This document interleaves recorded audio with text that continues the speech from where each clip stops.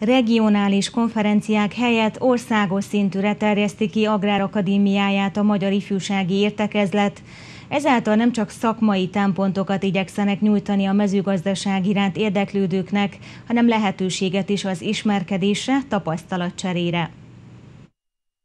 Országos szintűre terjeszti gazdáknak szóló Agrárakadémiáját a miért erről, illetve az elmúlt időszak eredményeiről, jövőbeli tervekről tájékoztatták ma a sajtót a Magyar Ifjúsági Értekezlet képviselői.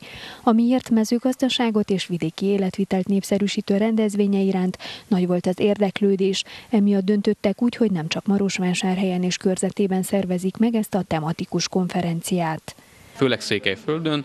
A a fiatalok mondjuk 50-60%-a vidéken és az gazdaságban valamilyen formában megfordulnak. Nagyon sok fiatal, aki gazdálkodik, tehát például annak jó példa, hogy egy hektáron kezdtek el gazdálkodni, és nagyon lelkesek, és pályázatok után ezeket nézelődnek, és így tovább. Ezeknek a fiataloknak akarunk adni pluszot tulajdonképpen. Az a cél, hogy lehetőleg a három széki megismerkedhessen a parciumival, a szorványbelével, és így tovább. Az Agrárakadémia eseményei az állattenyésztésről és növénytermesztésről szólnak majd.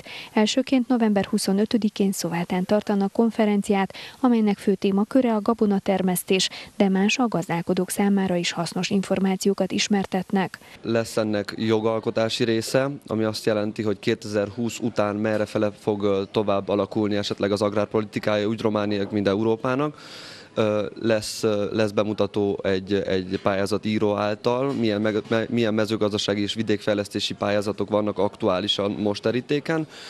A Maros megyi ápjának, tehát a kifizetési ügynökségnek lesz jelen az igazgatója, aki ismerteti ezeket a folyamatokat velünk. A novemberi Agrárakadémiára már zajlik az iratkozás, ide többek között a Miért honlapján lehet bejelentkezni.